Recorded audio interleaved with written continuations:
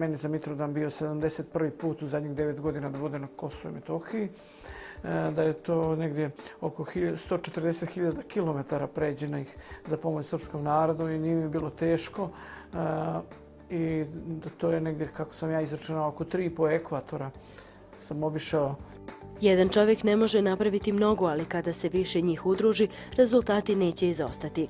Doga zato je i odbor za pomoć Srbima na Kosovu i Metohiji, koji godinama skuplja pomoć za djecu, bolesne, ugrožene porodice i pojedince.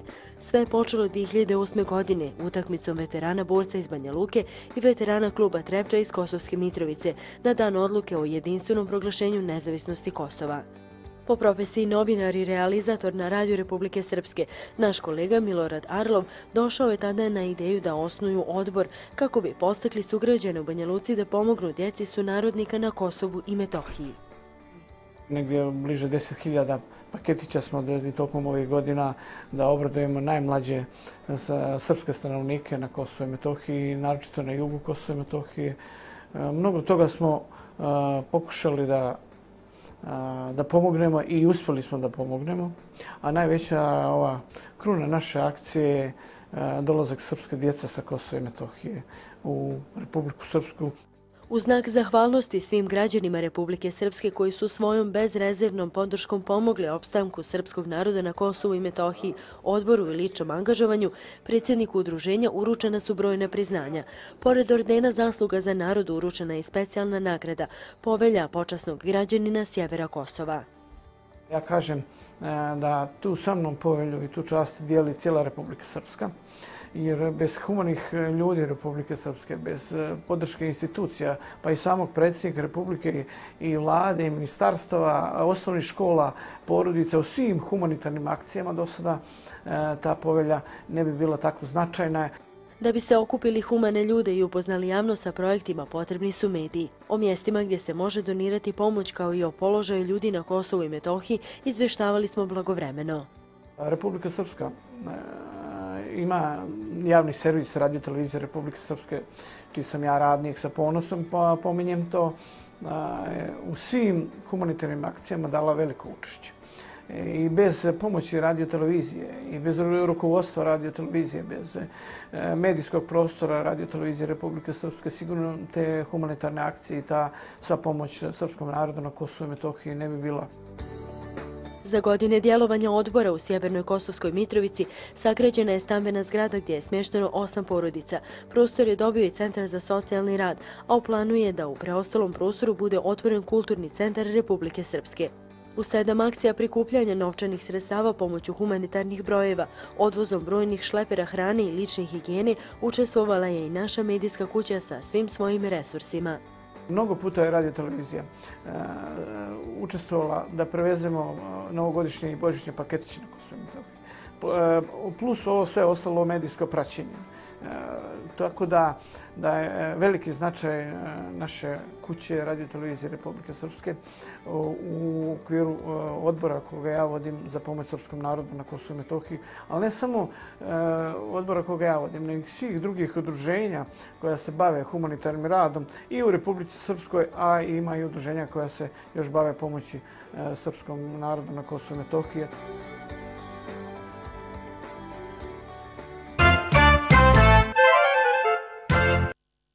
I družimo se uz jutarnju kafu, gospodin Milorad Arlov. Kako je bilo putovanje od Banja Luke do Beograda? Pa bilo je dobro, onako fino. Mislio sam da će biti veća magla, ali bilo je sve onako u, norm, u normalno, normalno je bilo. Je tako? Jeste. Evo, gledali smo sad ovu reportažu koje su divno sačinile vaše kolege. Uz jednu malu, malu omaškicu, ali sad ćete vi to da ispravite, tako? Pa nisu veterani borce, nek se veterani futbalskog kluba Vrbas iz Banja Luke, koji su veliki prijatelji srpskog naroda na Kosovo i Metohiji. Dobro, no, zaista mi sam počastno što ste došli i to iskreno kažem. Gledajući, pripremajući se naravno za ovu našu današnju jednočasovnu priču, ovaj, iz, fascin, iz fascinacije u fascinaciju, znate. Dakle, stvarno mi je ovaj, taj vaš životni put ovaj, fascinantan, evo ko što rekao dva puta do sada i ne znam drugi izraz da nađemo u ovom trenutku. Dakle, eh, evo reče ova koleginica, sve je počelo 2008. godine, Ali ajde da vidimo šta je prethodilo svemu tome. Hajmo da, da se malo podsjetimo i vaših ličnih iskustava u svim tim burnim vremenima kojih smo bremeniti sva, ki ove pedelje ove naše napaćene zemlje, dakle, od prvog pa drugog rata, velikog, svetskog, kako god, pa onda ovo sve što se događalo u 90-ih na vamo. Molim vas, krenite tu vašu priču. Mi smo kolege iz medija, pa vam neće to biti teško. Pa neće. Prije da se zahvalim vama lično i vašim e, gledalcima i u Srbiji, i Republici Srpskoj i u dijaspori. E, I što ste me pozvali da kažem tu svoju priču i da promovišem uopšte E, srpsko pitanje i na Kosovo i Metohiji, a uopšte srpsko pitanje. Pa znate kako, mi Srbi u ovim dijelovima Balkana, naročito mi Srbi iz Hrvatske, gdje sam ja rođen na Kordunu, u opštini Vrgimost, ispod Petrove gore, gdje sam tamo živio, gdje su moji svi preci živjeli tamo. I gdje su ostala i imanja, i kućni pragovi, i grobovi, i sve ono što smo mi e, vijekovima što su naši stvarali. E, naša ta muka je počela je negdje 90. godine, znači prije nekih 26 godina. Najprije smo proglašeni za nacionalnu manjinu u Hrvatskoj. A bilo nas je 1991. na popisu 583.000 Srba, 106.000 Jugoslovena i preko, preko 200.000 ostali, što e, mi daje za pravo da kažem da je bilo preko 700 do 750.000 Srba u Hrvatskoj, inače 16%. E, ogromna većina. Mi smo bili državotvorni i konstitutivni narod Republike Hrvatske i onda je došlo to vrijeme da Hrvatska država u kojoj su ugrađeni mnogi životi e, Srba u drugom svjetskom ratu, samo su Srbi oslobodili Republiku Hrvatsku i uvukli je u pobjedničku naciju u drugom svjetskom ratu. Da, oni su bili za one druge strane. Oni su, jer, oni su tek prišli 44. E, ili 45. kad su vidjeli po pričanju naših djedova, kad su vidjeli da se rat gubi. Inače, kod njih uvijek postoji ta NDH i kod njih uvijek postoji ta ideja protiv srpskog naroda. Kažete, kažete. Evo, pogledaj me, samo moram da se vratim ovo nazad. O, e, čokolada jedna. Ovo sad... Upravo sam teo zastavili, teo sam to, ali nisam da teo da pravimo digresiju. Međutim, ajde pustimo sad čokoladu, doćemo do čokolade. Nego samo sam teo da spitam, tamo ste rođeni. Da. Pobijeli su vam sve po majčinoj strani. Jesu. Ajte samo mi se sad reci ti što čoveče, odakle tolika mržnja prema ljudima koje ne poznaješ? Nikada mržnja nije prestala. Znači, pobili su 1991. na Svetog Iliju u Glini, u Glinskoj crkvi, cijelu mušku familiju moje majke koja se prezivala Janjanin u selu Blatuši ispod Petrove gore u opštini Vrgimost. Sa druge strane, očeve moja baka je odvela četiri sina protirali je Ustaše u Petrovu goru, držali ih dva mjeseca gladne. Samo je moj otac preživio. Je tako? Da. Znači, sedmaro muških iz, samo iz moje porodice, a takih je porodica na hiljadu. I kad to sve zbrojite, znači, e, pola miliona najmanje Srba je pa poginulo u Hrvatskoj zato, samo zato što su Srbi. I, e, a od toga pola miliona e, strani okupatori, tada Njemci, ovi drugi nisu pobili možda 5%. Od toga? Od toga. Samo znate kakav, kakav to monstru mora biti da odvede 2000 ljudi u crkvu i se sjeti se da ih treba pobiti. Eto, ništa drugo. Znači, e, a to je, to je muka srpskog naroda, ali pazite, ja ovako sada kažem, e, i po sadašnjim gledanjima Hrvatske, i njih to nikada nije ni napustila ta a, a, mržnja. I ona je sve jača. I E, naš život, zamislite sad, e, Čirilica, čokolada, sve ovo, e, život je, naročito u zadnjih 25-6 godina, težak je život bio i mi smo bili planirani po onoj staroj ideologiji troj, trećinu pobiti, trećinu pobiti, protjerati, a sad nije ni zadržana ne trećina, možda je zadržana petina, jer smo sad svedeni na 4%. I došli smo od konstitutivnog i državotvornog naroda, došli smo u etničku skupinu izgrađenu e, etničku skupinu, a toliko smo uložili u e, svi naši preci i mi, svi smo ulagali tu. A e, gledajte, i sad moram da se vratim na tu čokoladu. Evo vidite, da se sad cijeli sa sve Hrvatske, zato što je čokolada e, e, napravljena u Subotici, u Pioniru, dobilo dijete. Ono dijete gleda čokoladu koju Boga nema, e, nema mržnje, ali vidite, dođe neki bolesnik, njihov roditelj i kaže to je napravljeno u Srbiji, nemoj to jesti.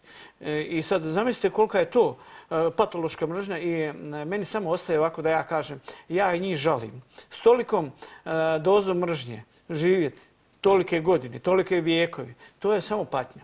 I vjerujte, i ja i njima nisam kriv što se oni uvijek osjećaju da su drugi narod. Da su Srbi u kakvoj bili situaciji na Balkanu, teškoj muci, mi smo uvijek tu, mi tu gdje jesmo. Nažalost, e, naše politike e, nekako idu nama na štetu. Nismo, nisu Srbi našli dovoljan broj e, snažnih prijatelja u svijetu, a bez snažnih prijatelja ni ove humanitarne akcije, ja da nemam mnogi veliki broj prijatelja, da nemam poznanika, da ne podržavaju, samostalno čovjek ne može ništa da napravi. Tako je i naše srpsko pitanje na ovim svim prostorima, a to se manifestuje nazad 25 e, godina, naročito 26. Žestoka priča. Eto. Pa tako jeste, ali sad da se još samo tu malo zadržimo, pa nećemo dalje. Aleksandar Šapić, koga izuzetno ceni pa na Twitteru je objavio ideju... On je porijeklom od nas. On je objavio ideju, ja, ga, ja se sada dajem... I to iz istog sela otkud je moja majka. Eto, vidite što je rekao. On je rekao da Hrvati skupe sve čokolade najhrvatskije moguće i da doniraju uh, njegove humanitarne organizacije na, na Novom Beogradu, da će on da podeli srpskoj deci bez ikakvih problema i kaže na taj način ćemo da rešimo pitanje čokolada, pa će biti jedan jedan. Evo, mi ćemo da podelimo hrvatske čokolade. S druge strane, u svim našim samoposlugama, bukvalno u svim samoposlugama, kraš, bajadere, šta god hoćete, bez ikakvih problema i niko ne gleda i ne brani deci. Dragi naši tamo, Pa evo, ja, ja moje, moje... Da li je iz Hrvatske stigla ili nije stigla iz Hrvatske? I poješće naše dete te, tu čokoladu i Bogu hvala se prekrstim da je to tako. Da smo jedan drugačiji Ajde, moram tako da kažem, drugačiji narod. Ja sam još jednom kažem, ja njih žalim. Moje omiljeno... Pa ne sve, možda ima i tamo ljudi Ma, koji su... Ima vjerojatno ljudi, ima vjerojatno ljudi, ali e, ja recimo volim e, krašove neke proizvode i zašto to ja ne... Ovaj... A da li se ta, postoji taj neki strah tamo unutar svega toga, recimo u Zagrebu, Splitu, bilo gde, da neko kaže šta misli, a da misli drugačije. Da li može da snosi određene posljedice? Da li imaju tu slobodu da, da, da, da javno kažu šta misli? Pa Evo, mi smemo da kažemo ovdje šta god hoćemo. Ako je to pristojno, naravno. Političari e, stvaraju u Hrvatskoj poene protiv, e, kad pričaju... To protiv... znamo, kad krenu pa, kampanja... Ali nije stvar do političara. E, postoji e, mržnja u običnom narodu. 100% vam ja to kažem, koja nije nikad ni prestala, znači. Nije tu e, da se to mi nikada neće biti. I, i, ovaj, i, I nikada neće. Ali evo, na primjer, e, mi Srbi većinom i preko Drine, naročito i u Republici Srpskoj, i u, e, mada je Republika Srpska nešto što se najbolje dogodilo srpskom narodu od prvog srpskog ustanka. I na, sigurno, i e, ja vjerujem da će ta Republika Srpska nas živjeti i BiH i da će biti vječna. Je tako? Da, ja. Eto, ja vjerujem. Ovaj, da će biti vječna. Ali mi, I to i ovdje je to tako. I to je na Kosovo Metohiji. Znači, e, e, nijedna generacija nije bila da se dva puta nije borila za svoj prak. Za, za svoj e, vlastiti prak da opstane tu. Znači, to je isto kao da bi ja sad došao nekoj vas tjeram iz vašeg stana i vi morate ići jer, ja, jer se meni to, jer se ja vas ne volim ili zato ja ne želim da ste vi tu. Pa. E, to je to je tako, na primjer. Neko želi da se javi. Ako sam dobro shvatio, Nemačka je u pitanju, izvolite. Pa jeste, gospodine Nenade, vi niste baš prijatno, prijatno vam kad ja zovem, ali nema veze. Kad Otkud? tad vi ćete shvatiti da sam u pravu.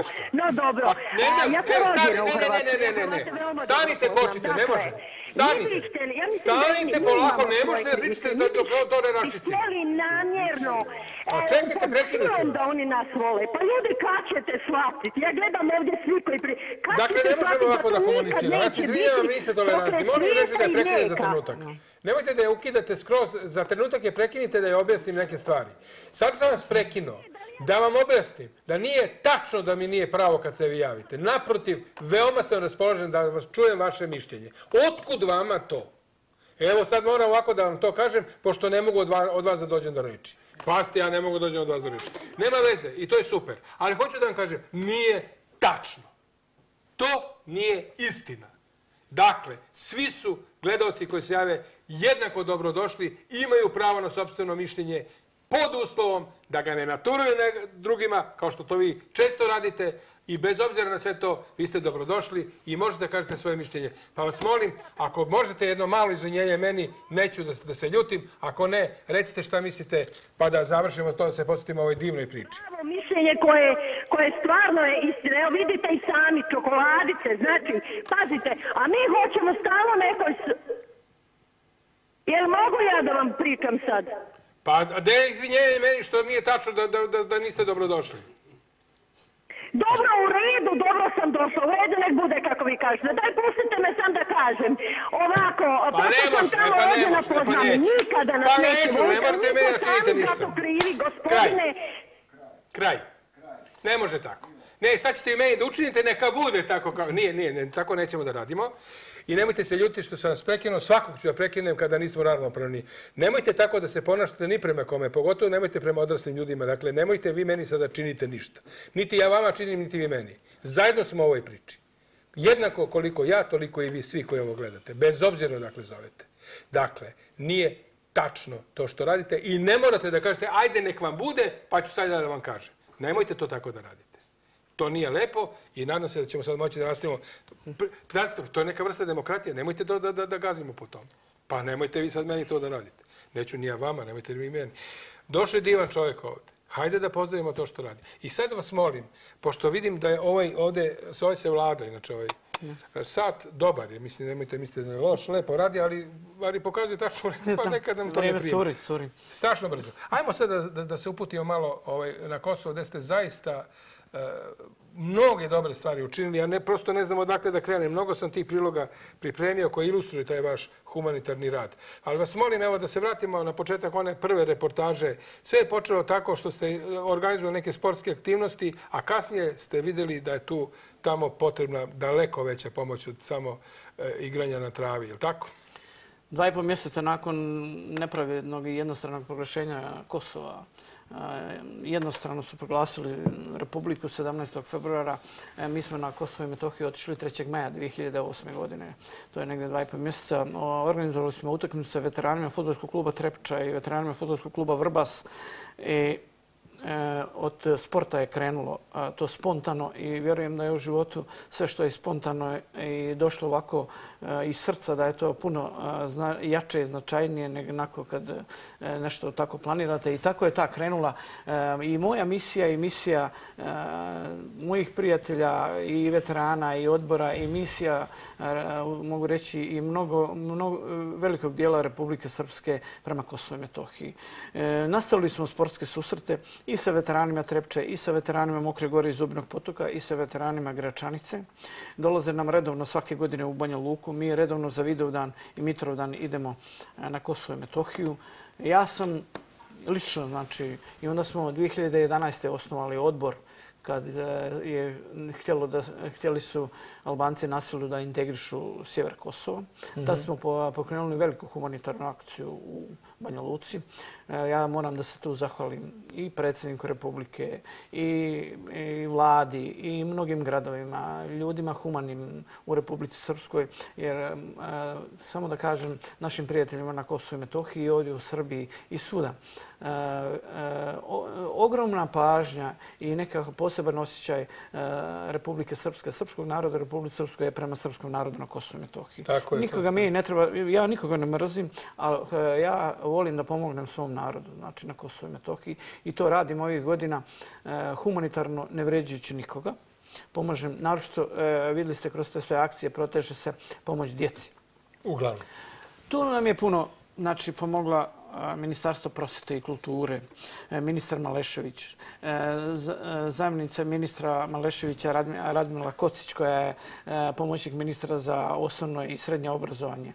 Ministar Petar Đokić, koji mi je pomogao da sprovede moju ideju u dijelu da da sagradimo zgradu. Republika Srpska je sa pola miliona maraka sagradila zgradu u Kosovskoj Mitrovice, dodijelila socijalne stanove, poklonila prostor Centru za socijalni rad i planira tamo da ima kulturni centar Republike Srpske. Srpske. Pomogli smo mnoge e, zdravstvene ustanove opremanjem i u Goraždevcu e, i na mnogim dijelovima.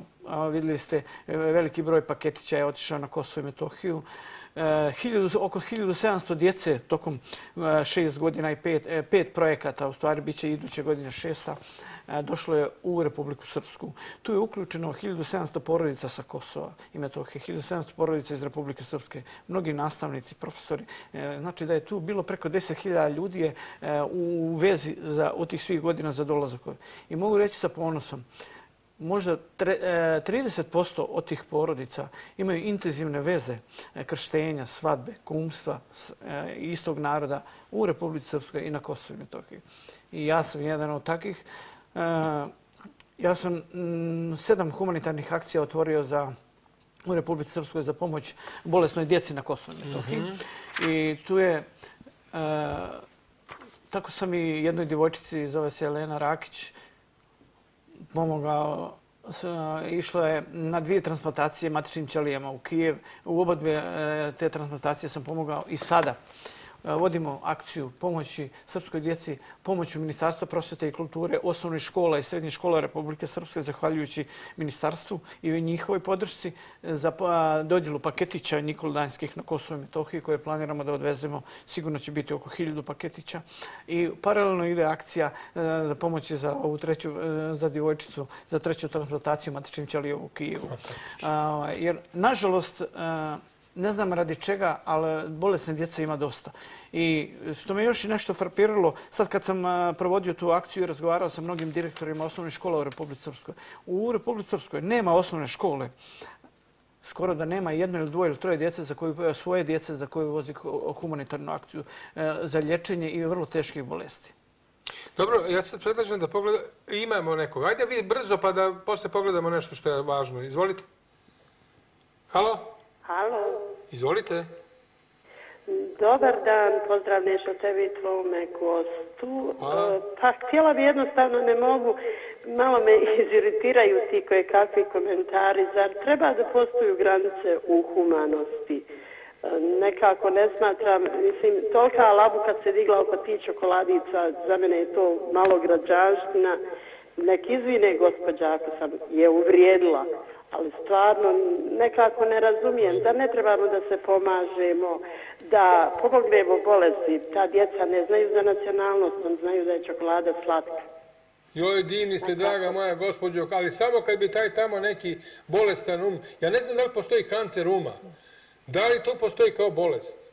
Pa da se raspada nečiji um, da, da više ne zna da racionalno razmišlja, da više nema humanosti, da više nema... Ruku na srce, Ruk na srce, zovem iz Njemačke i gledam, ali više svako jutro kad sam u mogućnosti vašu emisiju. Ali ovo od nazad ta tri dana vezano za tu čokoladu, to ne da je sramota, ne znam, to je, pa ne zna niko više. to je ravno nuli. Iz kog grada zovete, izvinite? Iz Frankfurta. Iz Frankfurta. Kako je vreme kod vas u Njemačkoj? Pa oblačno, neka dva, tri stepena, prohladno, dobro, suho, eto, uglavnom. A političko vreme? Pa, da vam pravo kažem, s obzirom da sam ovaj, sa prostora Republike Srpske ne bi se rado uključivala u politiku Njemačke. Hvala, dosta ste rekli. Hvala vam puno, veliki pozdrav. Bitno je da smo tu živi, zdravi i to je to. Hvala vama puno, divna gospođa. Hvala, hvala, hvala Nemačka jedna pa druga, ova, e, ova Nemačka je nekako bila, ne, ne kažem ja za gospođu onu prvu iz Nemačke, rekao samo nemojte da, da, da pričate koješta, to je važno, a zaista držim da ste krenuli kad se ja u pitanju pričate koješta. Da ne kažem jednu težu reč. Dakle, ovako, idemo sada na broj šest, Priča je o solidarnosti. Jednom ste rekli, a ja sam to izdvojio iz onog, onog filma o vama 20-minutnog, dakle, pričate o koliko je ta solidarnost važna i koliko ljudi u Republici, u Republici Srpskoj znaju koliko je Kosovo i šta je Kosovo i Metohija u svesti svakog srpskog čoveka, bez obzira gde se nalazi, da li ovdje u Beogradu ili u Banja Luci ili Bijeljini, gde god, u Australiji. Hajmo da pogledamo, dakle, broj šest, a tu ćete vidjeti i trenutak kada gospodin Arlo dobio odlikovanje od predsjednika Republike Srpske, gospodina Dodika. Da pogledamo. Pomagao je i zdravstvenom centru u Severnoj Mitrovici sa 3100 evra. Položio kamen temeljac za zgradu čiju je izgradnju finansirala vlada Republike Srpske i organizovao putovanja dece sa Kosova u Republiku Srpsku. Najvažnije je, kaže, solidarnost. Situacija u Republike Srpskoj isto nije e, ružičasta. Problemi su nezaposlenost, ali e, znate, kad, kad pomenete Srbe na Kosovo i Metohiji u Banja Luci, u cijeloj Republike Srpskoj, e, tu nekako e, jedno posebno mjesto da e, imaju Srbi sa Kosmeta i sa cijelog Kosova i Metohije. E, sad da vi dođete u Banja Luku i kažete ja sam iz Gračanice. Znači, ne da vas prihvatili, nego ne bi znali kako da vam, da vam ugode koliko je to osjećaj prema Srbima Kosovo Metohije. Upravo zbog dugogodišnje podrške srpskom stanovništvu na Kosovu, Arlov je ukazom predsjednika Republike Srpske Milorada Dodika odlikovan medaljom Zasluga za narod. 50. put na Kosovo je došao marta 2015. da donese pomoć deci u opštini Prizren. I sad imamo logično pitanje. Pre svega čestitam na ovom odlikovanju. Zaslužili ste ga, gospodine Arlov. Vidjeli smo te fotografije, to je mnogo važno. E, pre svega da vam se zahvalim u ime svih onih, e, sve one dece i svih onih ljudi kojima ste pomogli. Kaže, kaže ovaj izvještaj malo ranije napravljen 50. put 2015. Od 2015. do sada još... 72 puta sam bio sad za... A, a, bio sam za Mitrovdan i poslije Mitrovdan sam bio kod jednog prijatelja Zorana Arsića, što sam ja i pomenuo, da, da mi odlazimo i na svadbe i ne samo kad nosimo pomoć i da se družimo sa ljudima, da su porodice vezane e, toliko čvrsto, bratski. E, bio sam na, na svadbi kad je ženio sina u Kosovskoj Mitrovici. Amerika. Dobro. Zemlja velika, neko se javlja. Izvolite. Dobro jutro. Molim vas. Dobro jutro. Ovdje je dobro jutro. Kod vas je dobar dan, je tako? Tačno, vidite da znam. Izvolite. Dobar dan, dobar dan. Dobar dan, ovaj, jel može da se uključimo ovdje? U, u programu ste, prijatelju dragi, izvolite. E, ovaj, samo da vam kažem, ovo se ta Kitanović, e, kako se ta zove, ne znam, nije, ovaj, to je već Kitanović. van svake pameti, van svega toga. Samo nešto da bu pitao vas, reportere, vi radite u Bijeljni, jel? Ja radim praktično i u Bijeljni, da. Dobro, nije bitno do odakle. Samo da vas upitam nešto, ovaj. Mislim, ovo je van svake pameti, nisam nacionalista. Samo me nešto, nešto brine još uvijek. Ja još nisam nikada čuo na televiziji Bijeljni i na televiziji Banja Luka da nisu rekli vojska, takozvana muslimanska ili vojska, to je prije 24 godine bilo. Znači vi samo vidite šta se proti Srba govorite, a niko nije redao kako more biti vojska takozvana bosanska, mislim, to je takozvana kare, pa to je stvarno van svake pameti. Hvala vam lijepo. Pa molim fino, dakle, nismo vas pitali ništa o Americi, da nam malo kažete kako se tamo živi, no nema veze. Jeste vi razumeli šta gospodin kaže? Pa, ja ne baš. On je, ovaj, vidim da, da kritikuje u stvari nije na, na, na, srpskoj strani, kritike, kako mi zovemo tako zvana vojska i tako, ali e, gledajte, e, kad je ta vojska nastajala, tad je bila još legalna vojska Jugoslavenske narodne armije i tad je ostalo to i takozvana i takozvana i takozvane su te države jer te države e, gledajte mi smo svi živjeli u nekoj državi Jugoslaviji koju su koju smo mi smatrali da je bogom dana. Međutim ispalo da nije tako. E, ispalo da su republike važnije od te države i ispalo je e, da se tad nešto je bog zna kako živjelo a dva miliona naših najsposobnijih ljudi je radilo u vani moji roditelji su tako radili na hiljade na, stotine hiljada ljudi je otišlo da radi, da radi vani e, zato što nije bilo dobrog e, života. E, pravo Evo je gospodin je završio u Americi. E, evo to vidite. I sad, e, tako? Jest. I on ne bi završio u Americi da je ovdje bilo dobro, je li tako? Pa re, logično. Tako. I, eto, znači... E, e, samo, samo sada ja upućujem ne vama iz Amerike, nego ovoj gospođi prvo iz Nemačke. Kao što vidite, potpuno smo otvoreni. Gospodin se javio i skritikovao nas za šta misli da ima pravo, ali na jedan fin, civilizovan, kulturan način i hvala vam gospodin iz Amerike što ste se javili i što ste izdali sobstveno mišljenje o nečemu. A mi ćemo sada čujemo i drugu stranu. Je tako? Tako je. Izvolite. Pa gledajte, i sad pa gledam ova te tri sluša e, gledavaca vaše što su zvali. Niko ne, ne priča o humanosti. Pogledajte. Ajmo mi o humanosti. Niko ne priča od njih o humanosti, Ajmo njih samo smetaju čokoladice. Pa vidite, ali, pa dobro, ali A, a upravo će sada dobiti djeca na Kosovo i Metohiji poslije Nikodana hiljadu, oko hiljadu paketića u kojima će biti razni čokolada. Će biti hrvatskih možda. I bit će vjerojatno hrvatskih, i bit će i italijanskih, i švajcarskih, i svakakih, i niko neće postavljati pitanja kakve su. Gospodine Milorad, sada je Švajcarska. Hajde, ono nećemo narodni poligon. Dakle, imamo dve Nemačke, jedan Amerika, e, Halo. nešto... Izvolite. Dobar dan. Dobar dan. Ja bih htjela da se e, da pozdravim emisiju vašu i Nešu koji pravi najbolje emisije. Bez sumnje. Ja bih htjela samo da kažem vezano za ovo zadnje vrijeme, ovu, ove čokolade što je gospo, Kolinda rekla da Pa to ih tišti, su gospodine srpske. Milorad. Kažite. Ja bih htjela samo srpskom narodu da uputim jedan apel. A to je... Hrvatska ne može da gleda srpske čokolade, a kamo kako gleda narod. Pa dobro. Ne može da gleda srpsku ćirilicu plakatu, zidu plastičnu koja stoji kako da gleda narod. Da jednom da se Srbi opastulje, da više e, budu pametni, da više ne, ne, ne vjeruju takvim osobama. Šta da ne radimo više? Halo? Šta da ne radimo više? Dajte nam savjet. Šta da, ne bi im više, ne bi im vjerovala više. A to? Pa dobro. Ne bi im više vjerovala. Teško, ono, treba razumjeti onaj narod koji živi tamo. Teško E. tom narodu koji živi tamo. To što je ostalo. Eto, Hvala vam puno na ovom javljanju. Hvala vam E, zaista hvala, puno. doviđenja, prijatno. Doviđenja, prijetno. Vi imate tamo u toj švajcarskoj, barem vi imate čokolada, Toblerone, ovo li... sa medom i lešnikom i bademom. I niste poslali ni jednu. Vidite, a, a eto, a pričate humanost. Ne, niste pričali humanost, pričali, ste o Do čokoladama. sada, evo, i ovo je četiri... Ajmo, ajmo ovako. Niko nije rekao ništa o humoru. Evo ja ću da kažem. Neću ja da kažem. Vi ćete da kažete. Može. Dakle, Deca sa Kozare na reportaža ide broj 8. Broj 8, reportaža, pun ton.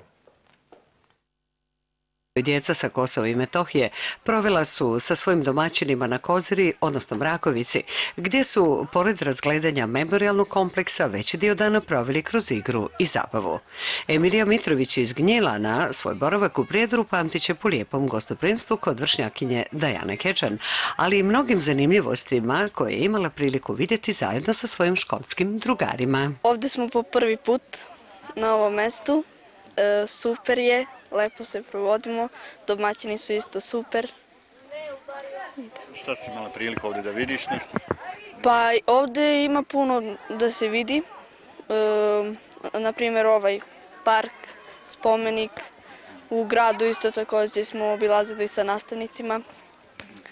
Išli smo na razna mesta i baš je lepo. Pa mnogo toga smo saznali ovaj kako oni tamo žive, kakav je njihov tamo položaj i to sve tako i ovaj i mnogo mi je drago da učestvujem u tome svemu i biće mi žao kada oni odu, ovaj pošto brzo smo se navikli, dosta dobro se svi razumijemo. Ja se zovem Lazar Stojković, Dolaziš ti? dolazim iz uh, Gnjilana, okolina Parteš selo se zove, Prvi put u Republici Srpskoj. prvi put.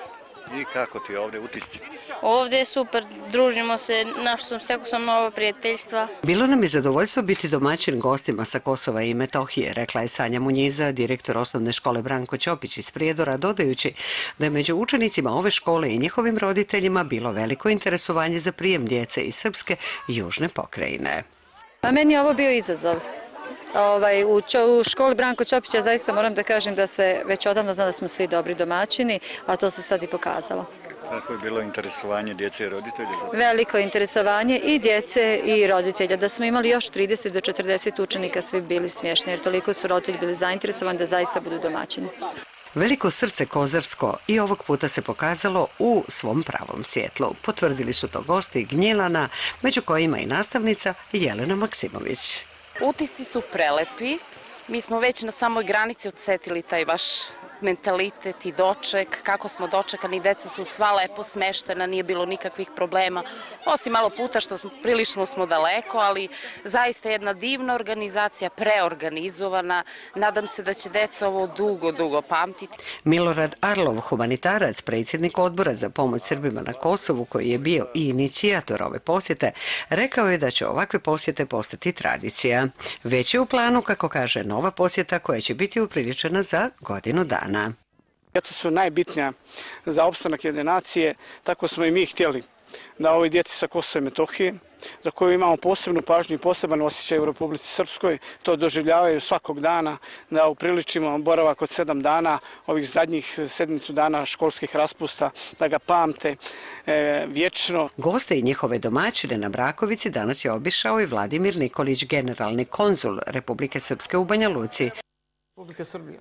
Republike Srbije u Banja Luci mala je obaška, nije to strašno, ali šta kažete, kako se živi na Kosovo?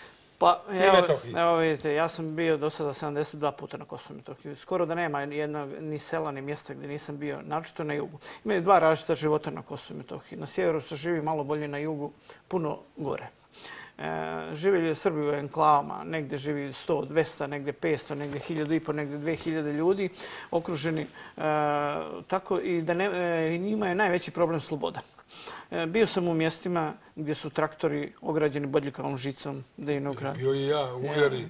E, bio, skidaju zadnji točak s traktora da im ne ukradu. Kradu stoku iz štale.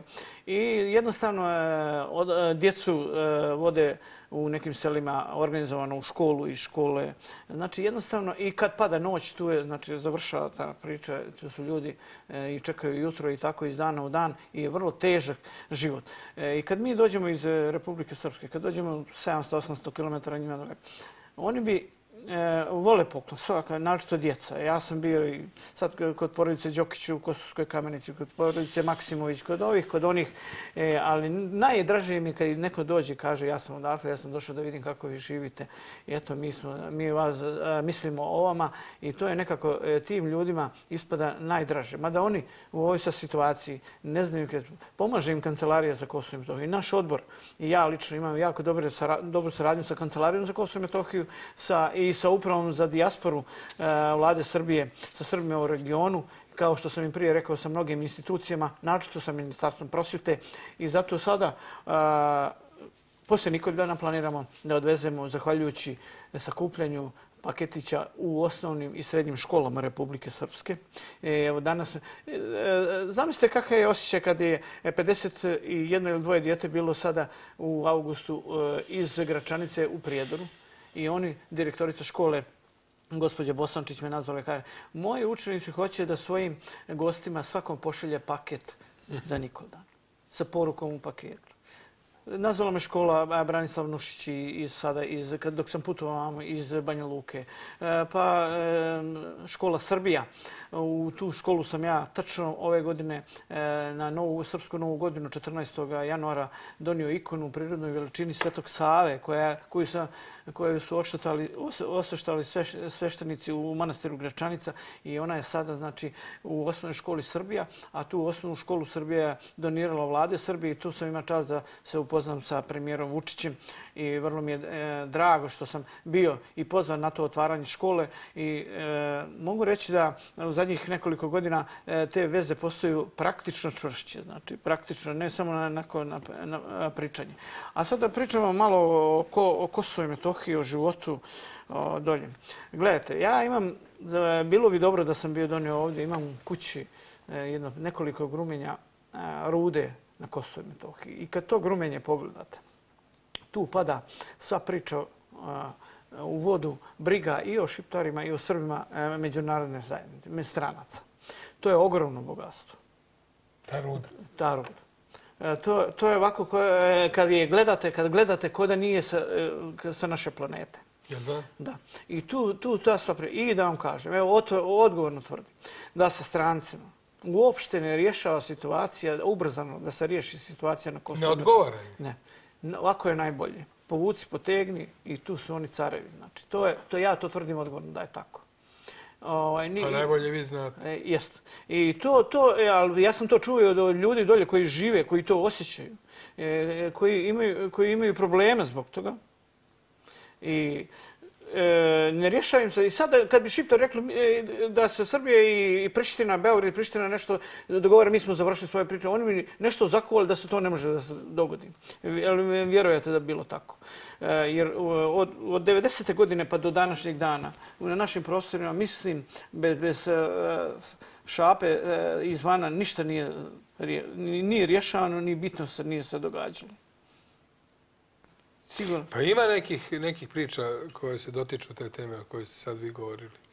da nisu tu čista posla u tom smislu, da je ogroman interes u pitanju, a da nije, da je pod velom tajne u stvari šta, šta je tu tačno u pitanju, Koji su to minerali? Da li čak i tog nekog, ajde, uslovno rečeno vanzemaljskog porekla? Pa, evo sad, na primjer, pa, nove procene, e, neke idu da je 500 milijardi vrednost rudnog bogatstva na Kosovo i Metohiji, da uglja ima u narednih za 200 godina, da nekih e, torijuma, rećemo, elementa budućnosti ima na Kosovo i Metohiji, da, a onda kad idu čak dalje da je do 1000 milijardi e, dolara vrednost. U stvari, ko zna koliko? A, na primjer, vrednost Srbije sa Vojvodinom je 200 milijardi No, vidite kolika je, to, kolika je to vrednost i onda e, ne može me niko objediti da njih zanimaju e, mir između Srba i Albanaca i kako će oni živjeti. To, da, to me niko ne može... Šta zanima, prijatelju moji, ne bi bacali osiromašeni uranijum i to najviše na kosu. E, tako. Je tačno? Da. Zato ima toliko dolje bolesne djece. Pa eto. E, I ima sve, sve svoje, zašto je to? To, to je strašno. Ajmo sad ovako, da se... Slava Sveti Dimitrije. Jeste. Sećate se toga? Kako ne? Da vas podsjetim ja još malo. E, možete. Ajmo, broj četiri. Broj četiri. Svetom arhijereskom liturgijom, koji je u hramu Svetog Dimitrija služio episkop Raško-Prizinski Teodosije u sasluženje velikog broja sveštenika, u Kosovskoj Mitrovici je obeležen je Mitrovdan gradska slava. Verujemo i nadamo se da će Gospod i nama darovati te snage da mi verom i ljubavlju i nadom pobedimo svako zlo u ovom svetu i da pobedimo svoje neprijatelje. Nakon liturgije organizovane su litije gradskim ulicama, a na trgu Šumadija kod spomenika Kneza Lazara priređeno je svečano rezanje slavskog kolača kojem su prisustvovali brojni građani, predstavnici Kancelarije za Kosovo i Metohiju kao i lokalnih samouprava na severu. Ovom prilikom predsjedniku odbora za pomoć Srbima na Kosovu i Metohiji, Miloradu Arlovu, uručena je povelja počasnog građanina severa pokrajine. Koristim priliku da vam svima vama čestita današnju slavu i mnogo srećenu budućnosti. Današnju slavu Svetu dimisija slavimo u ovom specifičnom trenutku. Znamo ko je bilo Dimitrija, veliki borac Grape Dunav, isto vojnik. Zato danas nije slučajno što smo izabrali ovaj dan da simbolizuje neka naša, neke naše odluke. Ovu povelju, vrlo značajnu u ovom životu, odnijeću u Banja Luku, ali znate da je tu povelju dobila cijela Republika Srpska. Od predsjednika Dodika do svih institucija, ništa ne bi mogo da učini bez humanog naroda Republike Srpske, koji su i neki danas ovdje sa nama, bez osnovnih škola, bez porodica, bez institucija, bez dobre volje srpskog naroda Republike Srpske da pomogne Srbima na Kosovo i Metohiji. Po tradiciji, na ovaj dan lomljenje i mitrovdanski kolač sa zlatnikom. Ja se zovem Valentina Frtunić, iz Kosovske Mitrovice sam i dobila sam ovaj zlatnik u ovom hlebu i dobila sam šal na poklon. Jesi li srećna? Da. A lik koga je na tom zlatniku? Svetog Dimitrija. Slava Svetog Dimitrija za građane Kosovske Mitrovice ima veliki značaj, a od 1999. godine posebno se proslavlja. Ovaj svetac važi za zaštitnika i grada Soluna, koji je, kako Solunci veruju, mnogo puta na čudestan način bio izbavljen od osvajača. Važi, e sad, aj, aj sad mali komentar. Ovo je, pre svega, još jedno čestitanje za ovo, za ovo ogromno priznanje. Rekli ste, ja ovo nosim u Banja Luku. Svima. Svima. Ovo je pa, čast e, za Republiku Srpsku. I kao što sam rekao na početku, bez humanih ljudi, od predsjednika Dodika do običnih porodica, e, ne bi mogla biti humana akcija i humanitarne akcije za srpski narod na Kosovo i Metohiji. I oni uvijek znaju da imaju velike prijatelje e, u Republici Srpskoj. Ovu akciju, ovo je već četvrti E, zlatnik koji je organizujem na Kosovu, a već devet godina za, na sam dan Boži to organizujem u svom naselju u Banja Luci. E, iduće godine će biti za Đurđev dan u opštini Zvečan. Isto tako, to okuplja djecu i vraća im duh zajedništa, jer slave su Srbi napravili da se druže, da budu zajedno, e, da zajedno osjećaju to, to slavlje. Zato naše sve akcije 90 i više postoje posvećeno djeci, djeci. I zato i traje akcija sada prekupljanje dječjih paketića. Zato traje akcija e, za pomoć Eleni Rakić.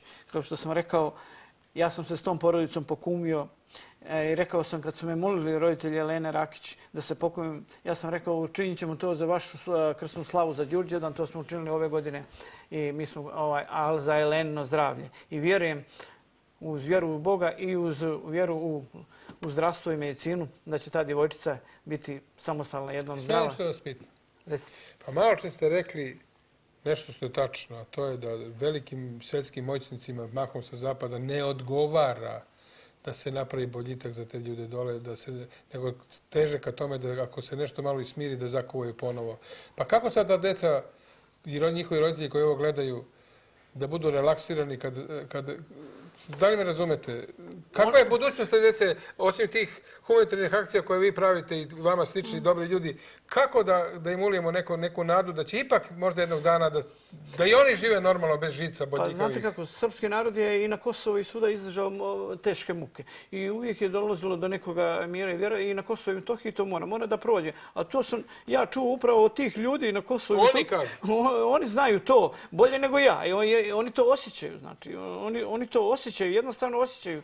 Pa, vidite koliko to traje. Pa, pitanje na Kosovo Metohiji ne traje 10 ili 15 godina. To traje, ja od dijete, kao dijete, a imam sad 57 godina, ja sam već 50 godina sjećam to, da je problem bio. I moram reći da je, na primjer, onaj e, famozni miting 89. E, na Gazimestanu, ogroman, milion ljudi, sve.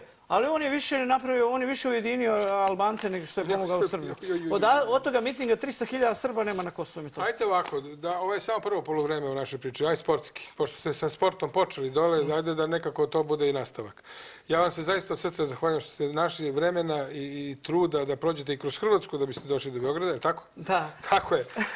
Pa vam se zahvaljujem još jednom i po treći put da se rukujemo, dakle, veliki čovjek. Šta vam je to? A ja vama hoću da poklonim šal Republike Srpske da imate za uspomenu tu.